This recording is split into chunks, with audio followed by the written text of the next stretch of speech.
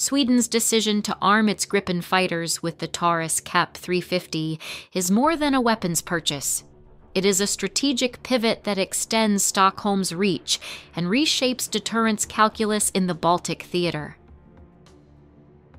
The Taurus brings an ability to strike hardened, high value targets at standoff ranges measured in the hundreds of kilometers a capability that changes how an otherwise geographically constrained Northern European state can influence an adversary's operational picture.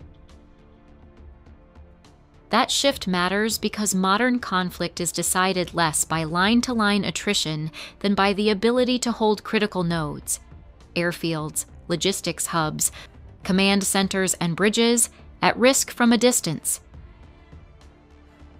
The counterfactual that frames the debate is not hypothetical. Western cruise and standoff weapons have already altered outcomes in recent campaign environments.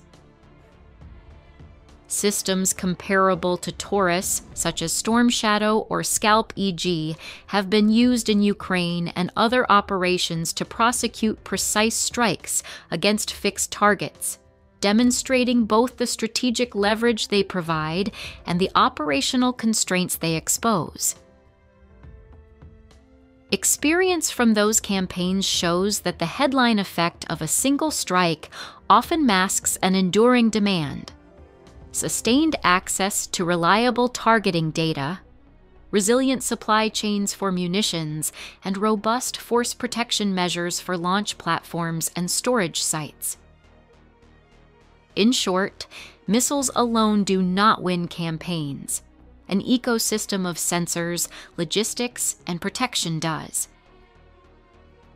Technically, Taurus and Storm Shadow occupy the same doctrinal niche long range, high precision, terrain masking cruise weapons designed to penetrate hardened defenses. Yet they are distinct in their profiles and operational employment. Taurus emphasizes deep penetration capability with sophisticated guidance suites optimized for complex terrain and hardened targets. Storm Shadow is battle proven, fielded across multiple Western air arms, and tested in recent high intensity operations. Metrics like declared range, warhead type, and guidance architecture matter in the abstract, but operational utility depends on how these weapons are fed with targets and how survivable their carriers are in peer contests. A Taurus on board a Gripen is militarily potent only when the Gripen can reach launch points safely and when downstream effects, follow on interdiction, exploitation of damage, and escalation management are credible. Ukraine's experience provides a series of actionable lessons relevant to Sweden. First, the employment of standoff strike created disproportionate operational effects when paired with timely, accurate targeting, often provided by a mix of UAVs, signals intelligence, and human reports Second, attrition of munitions and the logistical burden of sustaining strikes quickly emerged as a limiting factor. The production, transport, and protection of rocket fuel, warheads, and launch vehicles became strategic concerns as much as tactical ones. Third, adversaries adapt. Defensive layers, electronic warfare, and counter ISR techniques reduce strike effectiveness over time, so the attacker must be ready to invest in SEAD DEAD, stealthy approaches, and resilient C2 nodes. For Sweden, the immediate implication is clear. Investing in Taurus should be matched by investments in ISR platforms, distributed basing, and munition sustainment. From a force design perspective, Taurus transforms the Gripen from a tactical multi role fighter into an element of a strategic strike triad when combined with airborne early warning and persistent ISR. GlobalEye type platforms, satellite feeds, and maritime surveillance assets become force multipliers, enabling Sweden to nominate, verify, and prosecute targets beyond the littoral.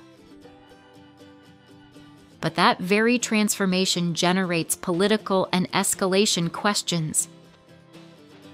A state that can reach critical infrastructure deep inside an adversary's periphery alters the perceived cost benefit calculus of both deterrence and coercion.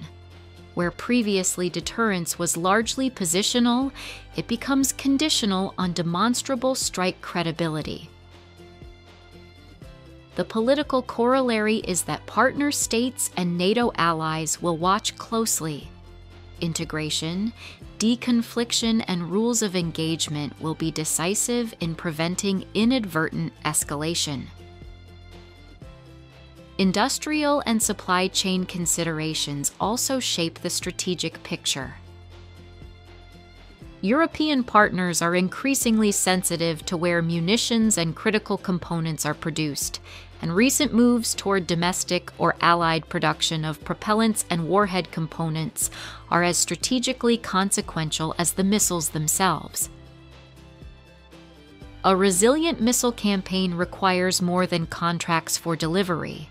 It requires predictable production lines, stockpiles, and political acceptance of peacetime manufacturing on Allied soil. Sweden's procurement choices should therefore be seen in tandem with broader European efforts to localize supply chains, reduce single source dependencies, and create mutual aid arrangements for munitions during extended campaigns. Tactically, the integration of Taurus into Sweden's air doctrine will demand changes in training and basing. Strike packages will need suppression of enemy air defenses, dedicated electronic warfare support, and contingency plans for degraded navigation environments. Mobility and dispersal of assets, both aircraft and munition storage, reduce vulnerability to preemptive strikes. Sweden must also prepare for the operational tempo that cruise missiles invite. One or two strikes will have symbolic value, but sustained interdiction requires predictable logistics and a political appetite to accept the strategic consequences. Finally, the ethical and legal dimensions cannot be ignored. Long range precision strike expands options short of full scale war, but it raises questions about target selection, proportionality, and escalation management. Transparent signaling, legal frameworks for use, and alliance level coordination will be crucial to ensure that the capability becomes a deterrent rather than a provocation.